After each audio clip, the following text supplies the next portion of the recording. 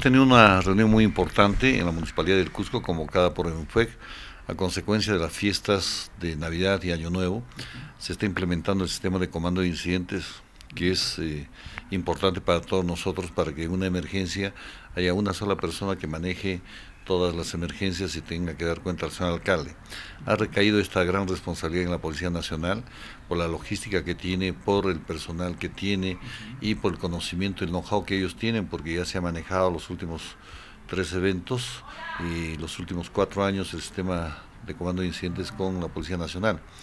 Eh, entiendo de que ya esto se tiene que viabilizar, se firmó un acta ayer, se tiene que pedir el apoyo de todas las entidades de primera respuesta, la compañía de bomberos está dispuesta a trabajar, al igual que el sector salud, el sector cultura, las empresas como Electrosur, Seda Cusco, eh, tienen que trabajar todos para que en cualquier emergencia, todos podamos brindarle la seguridad del caso a la población. Espero que la entrega sea lo más pronto posible. Ayer justamente hablamos con el jefe de defensa civil de la Municipalidad del Cusco, ellos han manifestado que no tenía el documento. Es importante que en este plan de eh, SOL, Seguridad, Orden y Limpieza, que se hace todos los años. ¿no? Estos planes eh, no son difíciles de este, trabajarlos, lo que sí estos planes son dinámicos en el tiempo, no son estáticos de acuerdo al escenario de riesgo, la cantidad de personas, hay que modificarlos, hay que cambiarlos un poco, hay que mejorarlos y pedir que eh, las autoridades también intervengan en este tema. Esto no es cosa del otro mundo, lo que queremos nosotros es que se dé a conocer los pasos a seguir ante una emergencia.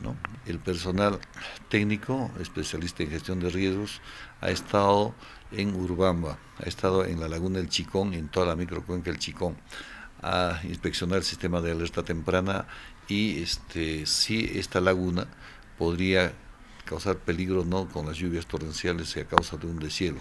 Para la tranquilidad de la gente, hasta este momento no hay ningún problema. Los trabajos que se ha hecho de eh, eh, por parte de una empresa privada en convenio con la municipalidad está muy bien. Nosotros vemos el tema netamente técnico, los tres disipadores están funcionando, lo que no funciona es el SAT, el sistema de alerta temprana. Hoy estoy haciendo eh, un documento al señor alcalde para que se pueda de inmediato poner en funcionamiento el SAT y decirles a la población de Urbamba que estén tranquilos, que no hay mayor riesgo.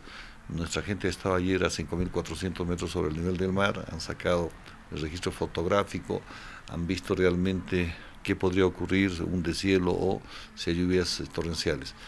Repito, hasta este momento no hay ningún problema, que la gente esté tranquila, hay muchos comentarios que se han dado en torno a este tema y este, hemos tenido mucho cuidado, han ido los mejores especialistas del INDECI y en su recorrido no han visto de que no reviste mayor riesgo. Sí, sí, yo, yo pienso que sí.